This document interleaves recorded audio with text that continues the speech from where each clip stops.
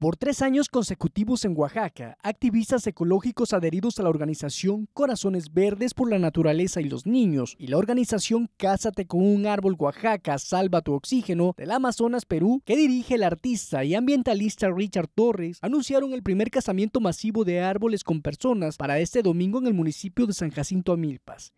Vamos del Amazonas, Perú, para realizar por primera vez la, la boda masiva con los árboles de Oaxaca, ¿no? que es un proyecto mundial que se ha realizado ya en 17 países y pues que hoy le toca a Oaxaca de Juárez y precisamente en el municipio de San Jacinto de Amilpa, ¿no? que literalmente nos está dando la oportunidad de poder eh, desarrollar esta performance simbólica mundial.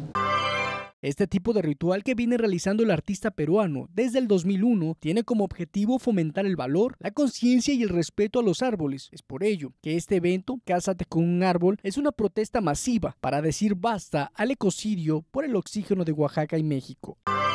Con el único objetivo de, de pedir la paz, ¿no? Pedir la paz de nuestro Oaxaca querido y de nuestro México también.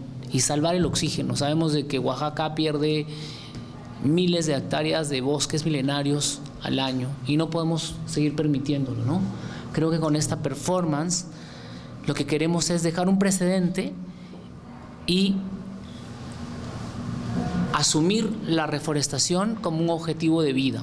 La trayectoria ha sido bastante exitosa, gracias a Dios, porque venimos no solamente reforestando, sino también venimos eh, dando eh, educación ecológica sustentable a los jóvenes y a los niños. De acuerdo a la directora Corazones Verdes México, Mónica López, se estima que en esta celebración alrededor de 100 personas se casen este domingo con diferentes árboles. Es un proyecto que estamos realizando a nivel mundial con el artista Richard Torres. Este, ya se ha venido eh, realizando en varios países. Esta vez pues nos toca aquí en, Oaxaca este, ser los que vamos al frente en nuestro país México Nova Oaxaca.